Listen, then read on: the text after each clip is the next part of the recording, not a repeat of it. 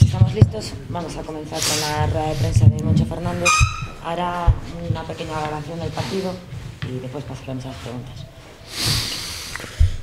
Bueno, pues como decía eh, Alejandro en la, previa, eh, se presuponía, como ha sido en los últimos enfrentamientos, un partido igualado, de principio a fin, que se iba a definir, definir por aquel que tuviera eh, un control del ritmo y que fuera capaz de sumar más pequeños detalles a su mochila, ¿no? por decirlo de alguna forma. Y yo creo que en este caso hemos sido nosotros. ¿no? Un partido muy difícil, muy difícil de principio a fin. Es, es un equipo que decíamos que es muy exigente desde el punto de vista defensivo porque cualquier error te lo hacen pagar, como, como pudisteis ver. Eh, pero yo creo que eh, hemos jugado un partido, yo diría que muy maduro, ¿no? muy maduro, sabiendo superar los momentos malos, sin perder la cabeza, manejando muchas circunstancias que nos fueron apareciendo durante el partido, como los problemas de los, de los hombres grandes con, con las faltas, ¿no? que ha hecho que Pavel haya tenido que jugar bastantes minutos, hemos acabado con muchos de ellos eliminados, y, y yo creo que ahí, en, en, cuando parecía que la cosa se podía poner difícil, pues el equipo ha tenido esa madurez, esa tranquilidad y esa hacer las cosas bien eh, en defensa, que al final siempre da también muchos beneficios en, en ataque. ¿Preguntas? Muchas veces la situación de crisis a, acabase sacando ou extraindo conclusións que logo son moi aproveitables. Oxe, da situación preocupante das faltas, no terceiro no último cuarto, podese dicir que o mellor para vindeiras ocasións Río Lotero Moncusa que a ensinanza de que con catro veciños se pode facer moito. Con catro baixinhos podense facer cousas, pero eh, as solucións tácticas non son solucións para momentos, non para momentos, non como solucións filosóficas. E, e bueno, pois Pavel é un xogador que pola súa fortaleza física pode axudarnos na, na defensa dos, eh, dos catros, non só pola súa forza física, sino tamén polo seu coñecemento táctico do xogo. E ofensivamente, bueno, pois intentamos aproveitar esa vantaxe que tiña na, na velocidade, non? Pero bueno, prefería chegar con, con todo o mundo ben, non? Eh, cando falamos da polivalencia nas plantiñas é para isto, non? Pois hai xogadores que poden desempeñar en varios postos e, bueno, pois o Pavel, a verdad que foi moi importante ne, nese aspecto, non?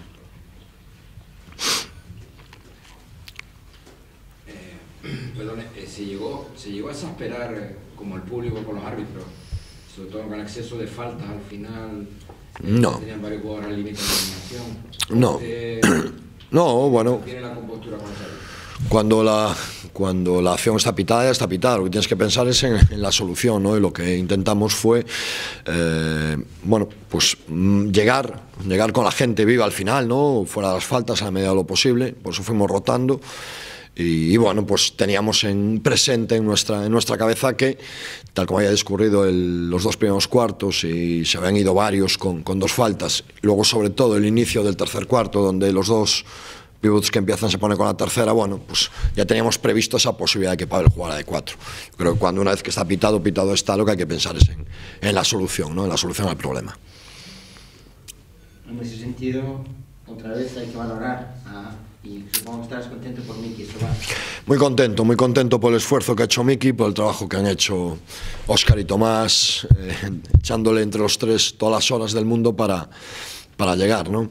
Eh, bueno, porque era un esguince que tendríais que haberlo visto el, el día que se produjo, ¿no? Y, y, la verdad que gracias a las narices de, de uno y el, y el trabajo de los otros dos, pues estamos tremendamente contentos, ¿no? porque ha llegado y nos ha ayudado muchísimo en esos minutos en que ha estado en pista. Siete victorias, bueno, buen balance, ¿no? Para empezar a estar contentos, ¿no? Bueno, yo creo que el momento de los balances es a final de temporada cuando consigamos nuestros objetivos. ¿no? Ahora estamos contentos por la, por la dinámica de juego, yo creo, sobre todo, estamos jugando mejor, eso nos ha permitido ganar, pero bueno, como decimos siempre, nos queda el día de hoy para disfrutar y mañana hay que volver al, al trabajo. Una semana especial, que es la semana de, de, la Copa, donde bueno, pues los jugadores descansarán, que se lo tienen bien merecido, pero ya hay que pensar en el próximo rival y, y seguir en nuestra línea de, de, cada partido, que yo creo que es lo importante. Y pensar en el, aunque hoy más que nunca, más que nunca se, han puesto, se ha puesto de, a salida a reducir bueno, la carencia de hombres santos, ¿Piensas en el refuerzo quizás para después de la Copa? O... Ah, el, el, club sigue trabajando en eso, ¿no? Os, os, podría repetir palabra por palabra lo que os lo que os he dicho en la anterior rueda de prensa. Nosotros seguimos trabajando y cuando encontremos al jugador que responda a los criterios que siempre os decimos deportivos y personales y por supuesto económicos, pues lo intentaremos fichar.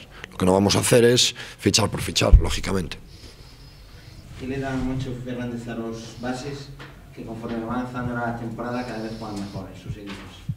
Bueno, no sé si esa afirmación es, es así, pero lo, los, que, los que dan son ellos, con su esfuerzo, con su trabajo y con su implicación.